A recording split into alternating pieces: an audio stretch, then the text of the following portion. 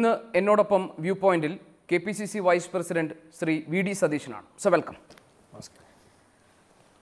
മറ്റൊരു പരിസ്ഥിതി ദിനം കൂടി കടന്നു പോകുമ്പോൾ കേരളത്തിലെ പരിസ്ഥിതി വിഷയങ്ങളിൽ നിന്ന് തുടങ്ങാം. ആറന്മുള വിമാനത്താവള വിഷയത്തിൽ സർക്കാരിനും കെ ജി എസ് ഗ്രൂപ്പിനും എതിരായ ഹരിത ട്രൈബ്യൂണലിന്റെ വിധി വന്നപ്പോൾ ശ്രീ വി ഡി സതീശൻ കേരളത്തിലെ മുഖ്യധാരാ മാധ്യമങ്ങളിലെല്ലാം പ്രതികരിച്ചത് കഴിഞ്ഞ സർക്കാരിന്റെ കാലത്ത് നടപ്പാക്കിയ ഒരു തെറ്റ് തിരുത്താൻ കിട്ടിയ അവസരമെന്നാണ്.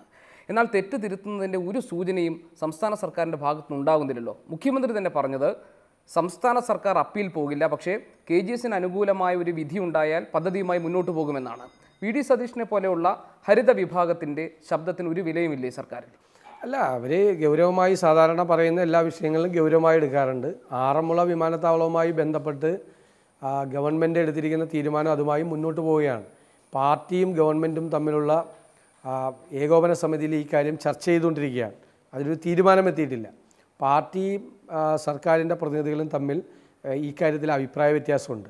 ആ കാര്യങ്ങൾ ചർച്ച ചെയ്തുകൊണ്ടിരിക്കുകയാണ്. ഞങ്ങളെപ്പോലുള്ള ആളുകൾ എൽ ഡി എഫ് ഗവൺമെന്റിന്റെ കാലത്ത് നടത്തിയ നിയമലംഘനമാണിത്. പതിനൊന്നോളം നിയമങ്ങൾ ലംഘിക്കപ്പെട്ടിട്ടുണ്ട്.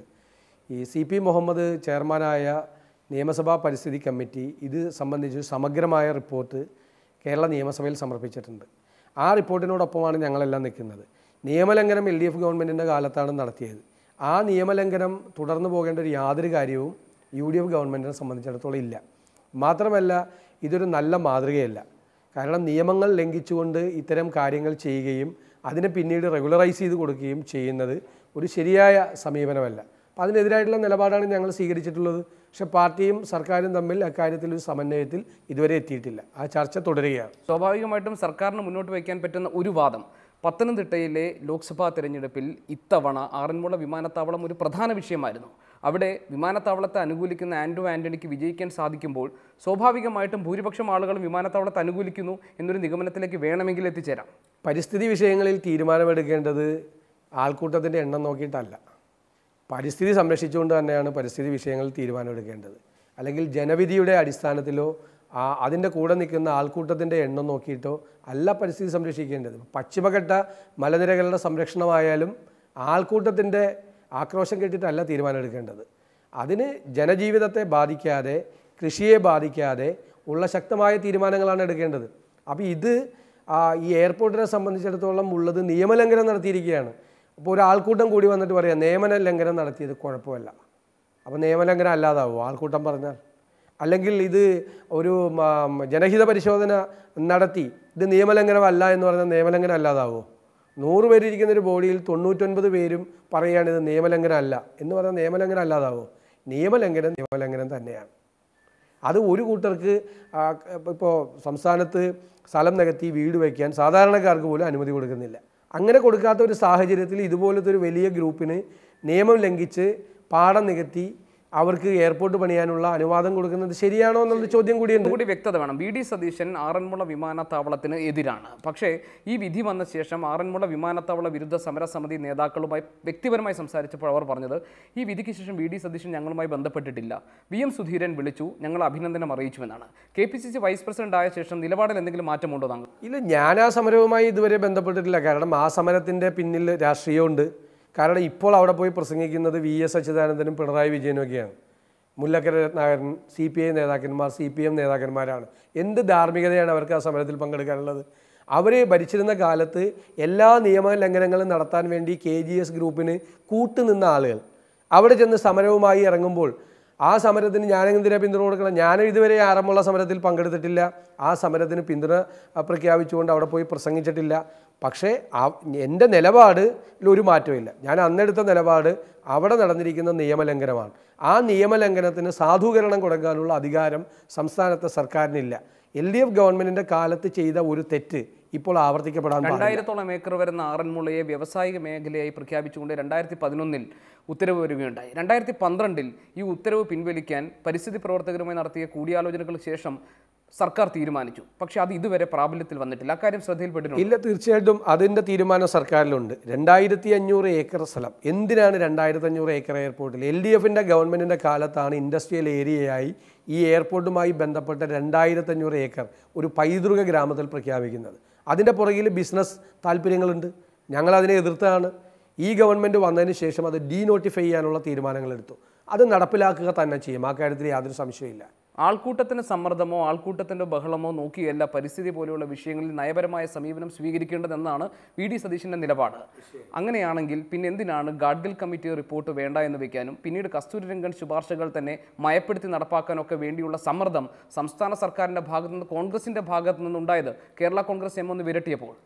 കേരള കോൺഗ്രസ് വിരട്ടിയതിന്റെ ഭാഗമായിട്ടല്ല തീരുമാനമല്ല അത് ഞാൻ പറഞ്ഞത് ഞങ്ങളെടുത്ത തീരുമാനം ഗാഡ്ഗിൽ കമ്മിറ്റി റിപ്പോർട്ട് നിയമസഭയിൽ ചർച്ച ചെയ്തു. അന്ന് ഞങ്ങൾ പറഞ്ഞത് ഈ ചർച്ച വേണം. ഗാഡ്ഗിൽ കമ്മിറ്റി റിപ്പോർട്ട് ചർച്ച ചെയ്യണം.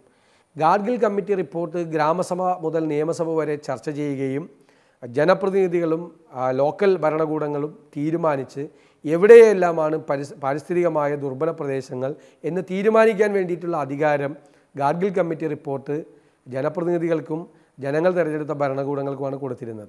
ദൗർഭാഗ്യവശാൽ അന്ന് ഗാഡ്ഗിലിന്റെ നേരെ എല്ലാവരും ആക്രമിച്ചു. ആ ഗാഡ്ഗിൽ റിപ്പോർട്ട് കേരളത്തിൽ ചർച്ച ചെയ്യപ്പെടാതെ പോയി. ഗാഡ്ഗിൽ റിപ്പോർട്ട് നടപ്പിലാക്കണമെന്നല്ല ഞങ്ങൾ പറഞ്ഞത്. ഞങ്ങൾ പറഞ്ഞത് ഗാഡ്ഗിൽ റിപ്പോർട്ട് ചർച്ച ചെയ്യണമെന്നാണ് പറഞ്ഞത്.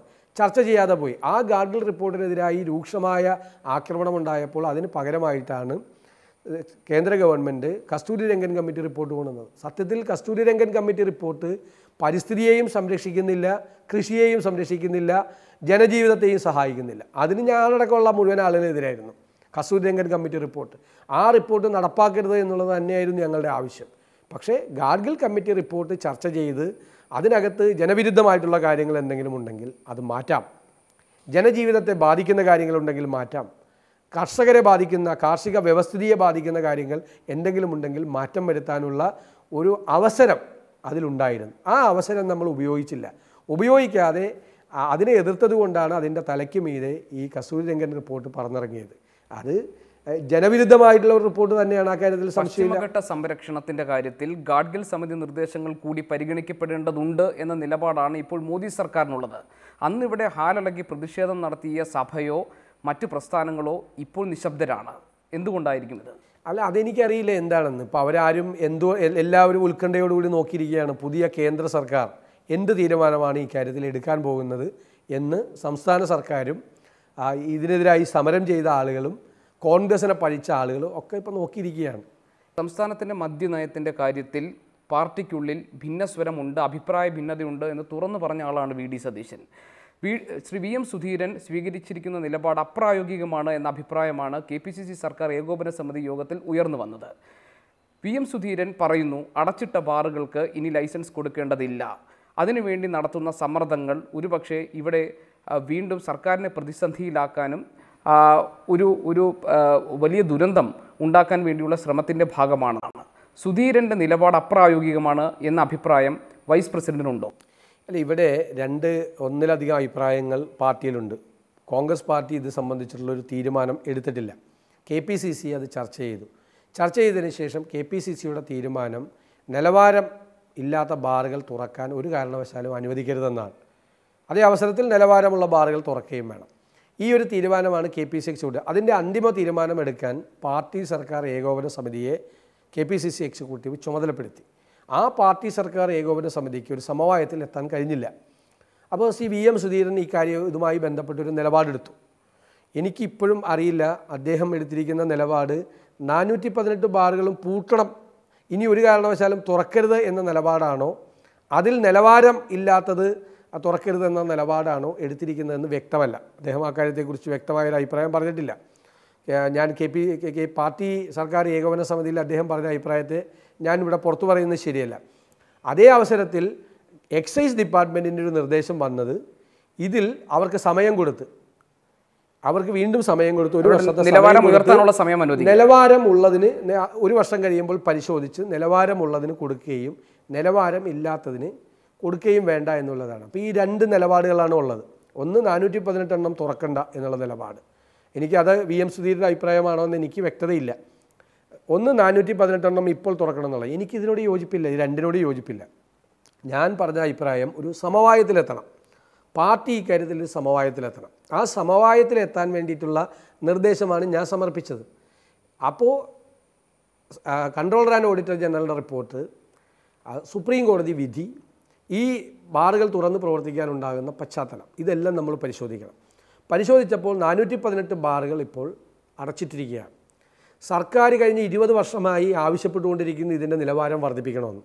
സർക്കാർ ആവശ്യപ്പെട്ട പ്രകാരം നിലവാരം വർദ്ധിപ്പിച്ച സർക്കാരിന്റെ ആവശ്യപ്രകാരം നിലവാരം ഉയർത്തിയ ബാറുകൾ ഈ പൂട്ടിക്കിടക്കുന്ന നാനൂറ്റി പതിനെട്ടിലുണ്ട് കുറച്ച് ബാറുകളുണ്ട്. ഇപ്പോൾ തുറന്നു പ്രവർത്തിക്കുന്ന മുന്നൂറ്റി പതിനാറ് ബാറുകളിൽ ഒരു നിലവാരവും ഇല്ലാത്ത ബാറുകളുണ്ട്. അപ്പോൾ ഇപ്പോൾ വിവേചനപരമായിട്ടാണ് സർക്കാർ ഈ തീരുമാനം നടപ്പിലാക്കിയിരിക്കുന്നത്. ഇപ്പം ഞാൻ പറഞ്ഞ അഭിപ്രായം സംസ്ഥാനത്തെ എഴുന്നൂറ്റി ചില്ലാൻ ബാറുകളും ഒരു മാനദണ്ഡത്തിന്റെ അടിസ്ഥാനത്തിൽ പരിശോധന നടത്തി ഗവൺമെന്റ് നിശ്ചയിക്കാം. എന്താണ് നിലവാരത്തിന്റെ മാനദണ്ഡം? നിശ്ചയിച്ച് നിലവാരമില്ലാത്ത ബാറുകൾ അടച്ചുപൂട്ടണം നിലവാരമുള്ളത് തുറന്ന് പ്രവർത്തിക്കണം. അല്ലാതെ നമ്മൾ തീരുമാനമെടുത്താൽ വിവേചനപരമായൊരു തീരുമാനമെടുത്താൽ അത് കോടതിയിൽ ചോദ്യം ചെയ്യപ്പെടുകയും ഈ നാനൂറ്റി പതിനെട്ട് ബാറുകളും തുറന്ന് പ്രവർത്തിക്കാനുള്ള അവസരം ഉണ്ടാകുകയും ചെയ്യും. അങ്ങനെ നാനൂറ്റി പതിനെട്ട് ബാറുകളും തുറന്ന് പ്രവർത്തിക്കാൻ കോടതി ഒരു ഉത്തരവ് കൊടുത്താൽ അതിന്റെ ക്ഷീണം മുഴുവൻ യു ഡി എഫ് ഗവൺമെന്റിനാണ് യു ഡി എഫ് ഗവൺമെന്റ് ഇത് തുറന്ന് പ്രവർത്തിക്കാനുള്ള ഒത്താശ ചെയ്തു കൊടുത്തു എന്നുള്ള ആക്ഷേപം ഗവൺമെന്റിന് മീതെ ഉണ്ടാകും ശരി. അപ്പം ഞാൻ ഈ പറയുന്ന നിർദ്ദേശം നടപ്പിലാക്കിയാൽ ഇപ്പോഴുള്ള ഈ നാനൂറ്റി പതിനെട്ട് ബാറുകളിലും അടഞ്ഞു കിടക്കുന്ന ബാറുകളിലും തുറന്നു കിടക്കുന്ന ബാറുകളിലും നിലവാരമില്ലാത്ത ധാരാളം ബാറുകൾ എന്റെ ഒരു കണക്ക് ഇരുന്നൂറിനും മുന്നൂറിനും ഇടയിലുള്ള ബാറുകൾ അടച്ചുപൂട്ടാൻ കഴിയുമെന്നാണ്. അത് യു ഡി എഫ് ഗവൺമെന്റിനെ സംബന്ധിച്ചിടത്തോളം വലിയ നേട്ടമാകും. കാരണം ഈ നാനൂറ്റി പതിനെട്ട് ബാറുകളും തുറന്നു പ്രവർത്തിക്കാൻ അവസരം കൊടുത്തത് എൽ ഡി എഫ് ഗവൺമെന്റാണ് ശരി. ആ അഭിപ്രായം പുനഃപരിശോധിച്ച് അതിൽ മുന്നൂറോളം ബാറുകൾ പൂട്ടാൻ വേണ്ടിയിട്ടുള്ള തീരുമാനം യു ഡി എഫ് ഗവൺമെന്റ് എടുത്താൽ അതിന്റെ രാഷ്ട്രീയമായ നേട്ടവും മദ്യം കുറച്ചു കൊണ്ടുവരിക എന്നുള്ള മദ്യനയവും വ്യക്തമായി നടപ്പാക്കാൻ യു ഡി എഫിന് കഴിയും. അല്ല ശ്രീ വി എം സുധീരന്റെ നിലപാടിൽ അവ്യക്തതയില്ല. അദ്ദേഹം പറഞ്ഞത് ഇപ്പോൾ അടച്ചിട്ടിരിക്കുന്ന നാനൂറ്റി പതിനെട്ട് ബാറുകൾ തുറന്ന് പ്രവർത്തിക്കേണ്ടതില്ല എന്നാണ്. മാത്രമല്ല ഇത്രയധികം ബാറുകൾ അടച്ചിട്ടതിലൂടെ കേരളത്തിലെ മദ്യ ഉപഭോഗം കുറഞ്ഞു എന്നാണ് സുധീരന്റെ നിലപാട്. അതിലെവിടെയാണ് അവ്യക്തത? അവ്യക്തതയുണ്ട്. അദ്ദേഹം അങ്ങനെയല്ല പറഞ്ഞിരിക്കുന്നത്. അദ്ദേഹം യു ഡി എഫ് പാർട്ടി ഏകോപന സമിതിയിൽ യോഗത്തിൽ അങ്ങനെയല്ല സംസാരിച്ചിരിക്കുന്നത്. അദ്ദേഹം പറഞ്ഞിരിക്കുന്നത് ഒരു ജില്ലാ കളക്ടർ ചെയർമാനായിട്ടുള്ള ഒരു സംവിധാനം ഉണ്ടാക്കി ഒരു മെക്കാനിസം ഉണ്ടാക്കി എക്സൈസ് ഡിപ്പാർട്ട്മെന്റിന്റെ മറ്റ് ഡിപ്പാർട്ട്മെന്റുകളുടെയും പ്രതിനിധികളെയും വെച്ചുകൊണ്ട് അവർ പോയി ഇപ്പോൾ പരിശോധന നടത്തുക. അവരിപ്പോൾ പോയി പരിശോധന നടത്തുമ്പോൾ ആർക്കെല്ലാം നമ്മുടെ ടു സ്റ്റാർ ഫെസിലിറ്റീസും ടു സ്റ്റാർ സർട്ടിഫിക്കറ്റും ഉണ്ട്. അവർക്കെല്ലാം അനുമതി കൊടുക്കുക. അല്ലാത്തവർക്ക് കൊടുക്കണ്ട എന്നാണ് അദ്ദേഹം അന്ന് പറഞ്ഞത്.